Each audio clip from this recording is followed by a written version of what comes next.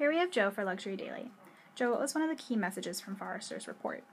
Well, we're starting to reach a point where it's inexcusable to have any flaws whatsoever in your mobile experience. So, brands that still have faulty mobile sites, that have any sort of errors when consumers are signing up or they're going to a rare page, that's just not acceptable anymore. So, this year, brands will really work on enhancing the user experience because um, that's what uh, wins and loses uh, consumers nowadays. If you have um, a, a, botched website, you're going to have your consumers go somewhere else where they can expect to have a flawless uh, experience. So I think that's one of the major messages that Forrester is trying to stress, and the report uh, obviously delves into that in more detail.